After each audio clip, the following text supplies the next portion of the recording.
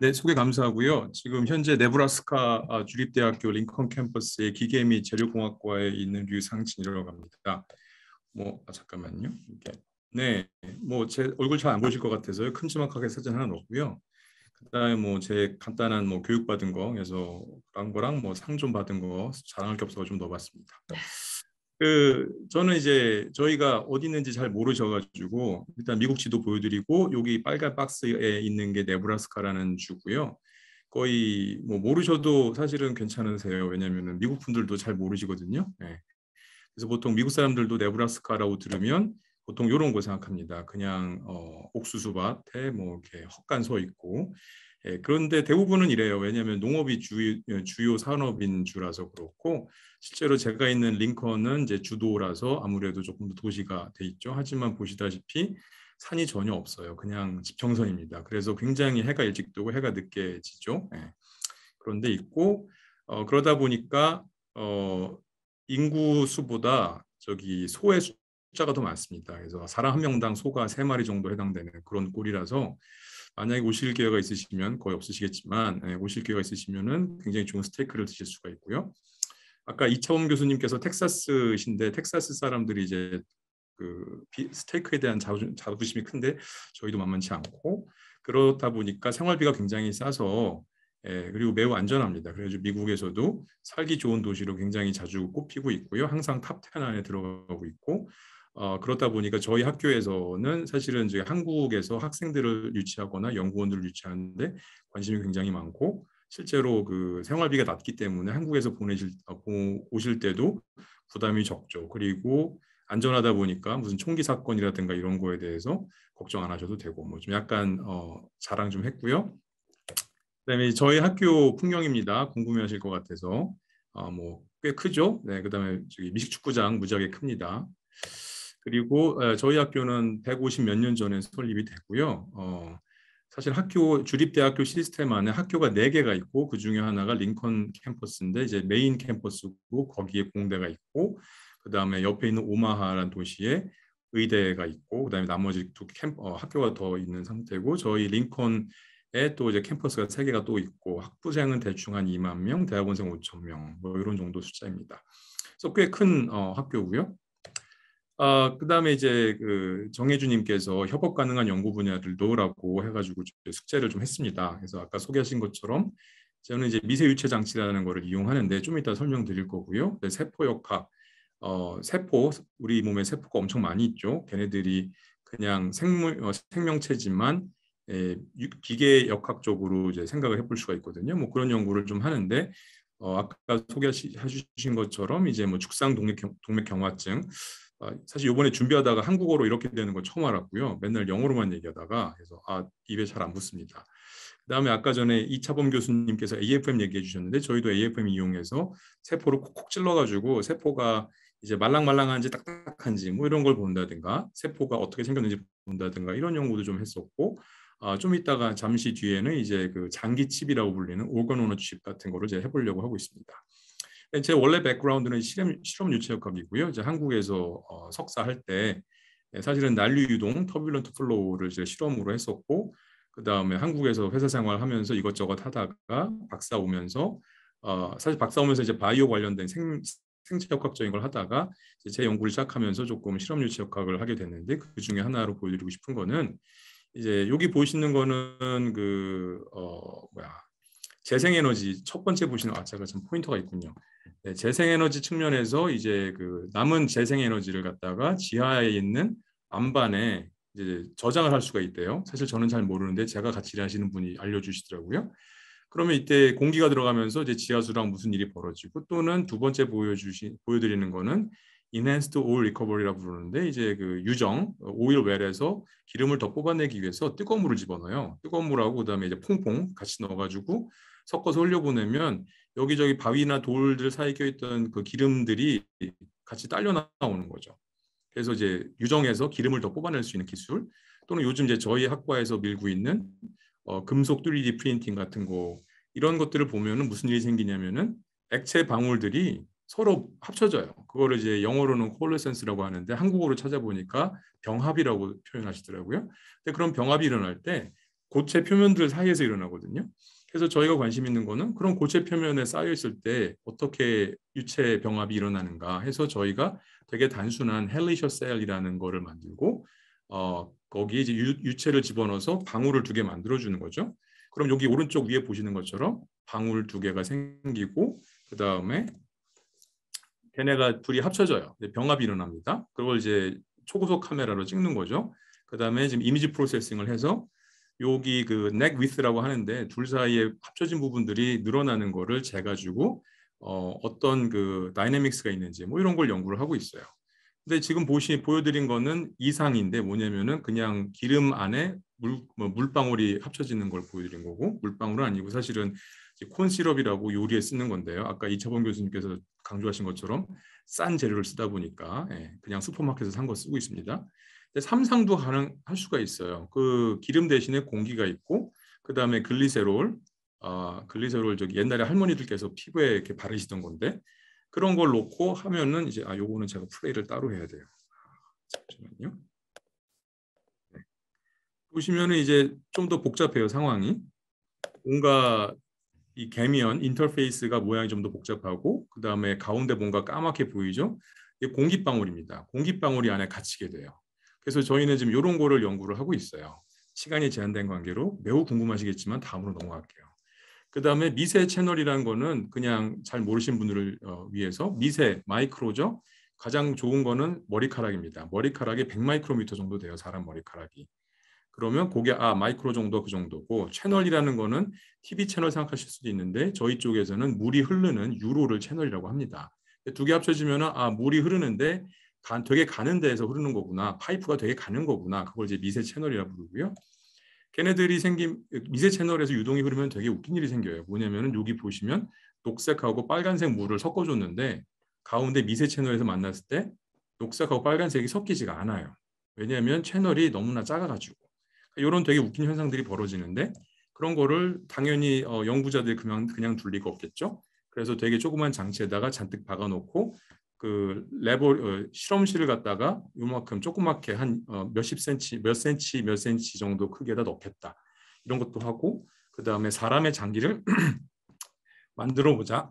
죄송합니다. 그래서 간도 만들어 보고 뭐 신장이며 허파 이런 것도 만들어서 나중엔 다 연결하면 사람을 장 사람 몸을 갖다가 연구실에서 구성할 수 있지 않을까.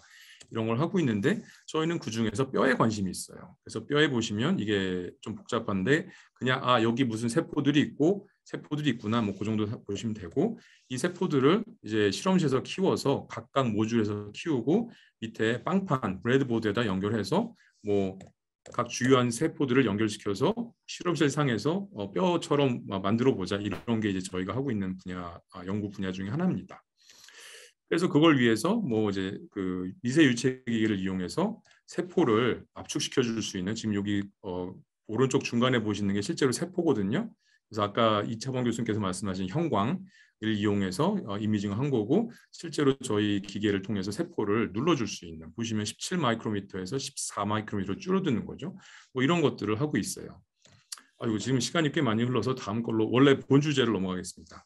그래서 제 오늘 제가 발표드리고 싶은 거는 곤충 날개에 대한 겁니다. 그래서 곤충 날개를 상당히 연구를 많이 하고 계세요. 어, 보시면은 뭐 광학적인 측면에서 왜냐하면 날개 나비 날개가 되게 예쁘잖아요. 그런 거가 광학적인 측면이 있고 그 다음에 뭐 나노 structure 요즘 나노 엄청 엄청 인기 많죠.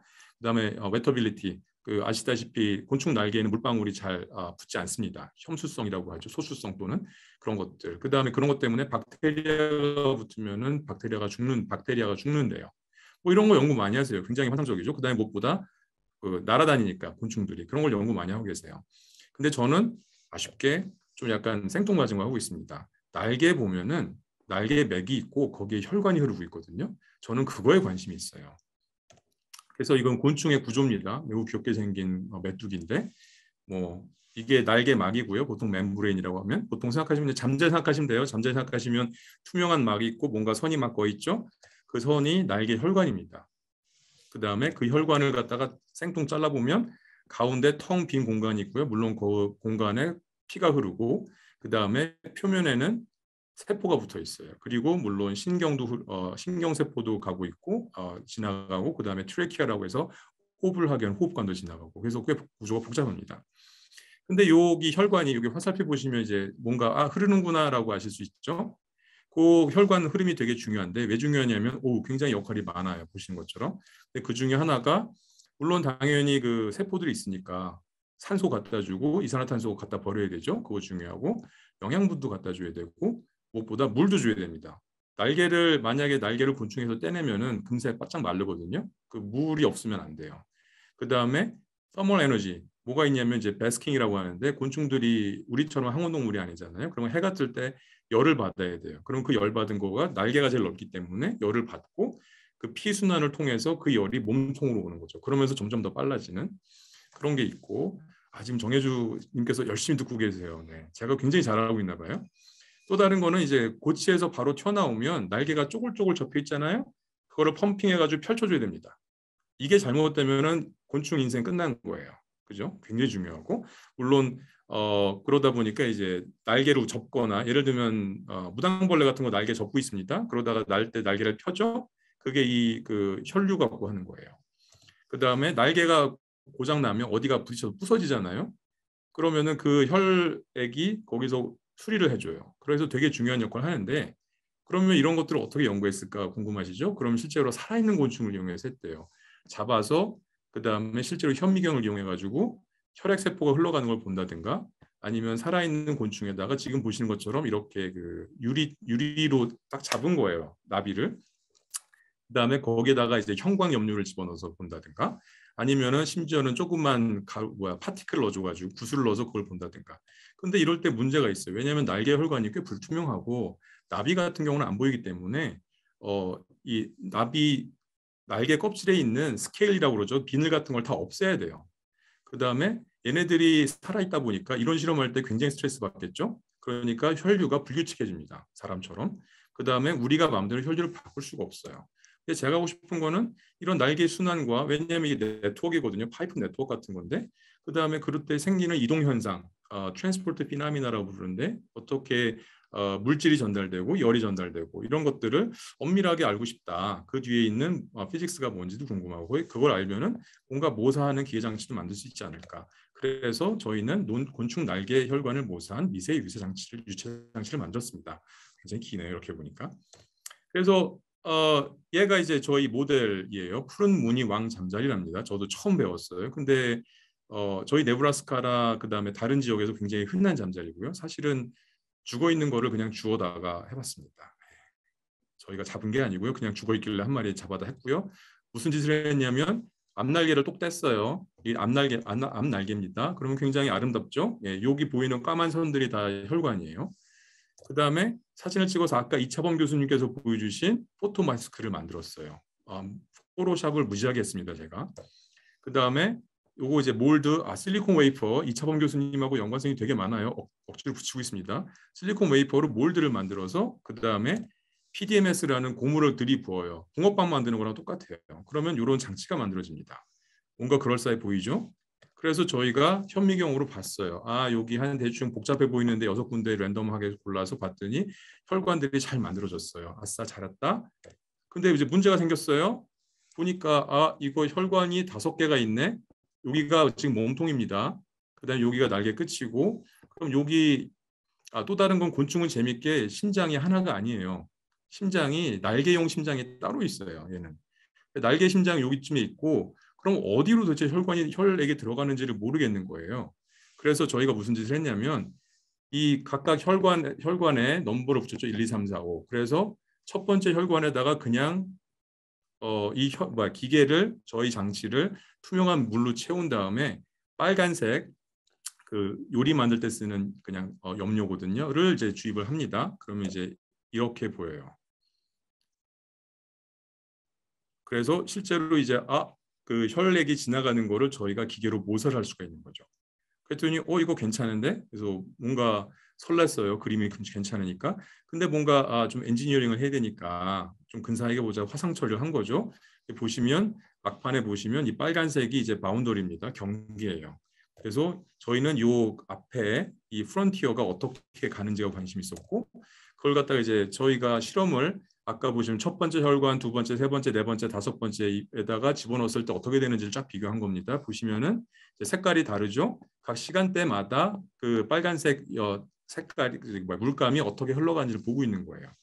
그럼 보시면 어, 1, 2, 3번 집어넣었을 때 그 패턴이 비슷해요. 그러니까 아 얘네가 한 그룹. 그래서 저희는 일렛이라고 표현했고 그 다음에 4, 5번 넣으면 패턴이 아까 위랑 다른데 또 4, 5번 길이는 같아요. 그래서 아 여기가 아울렛. 근데 이걸 확인해 보니까 실제로 저희 곤충학자한테 물어보니까 실제로 첫 번째, 두 번째, 세 번째가 하나 연결돼 있는 거고 네 번째, 다섯 번째가 실제로 연결돼 있는 거예요. 그러니까 아 저희 장치가 되게 잘 하고 있는 거구나 기뻤죠.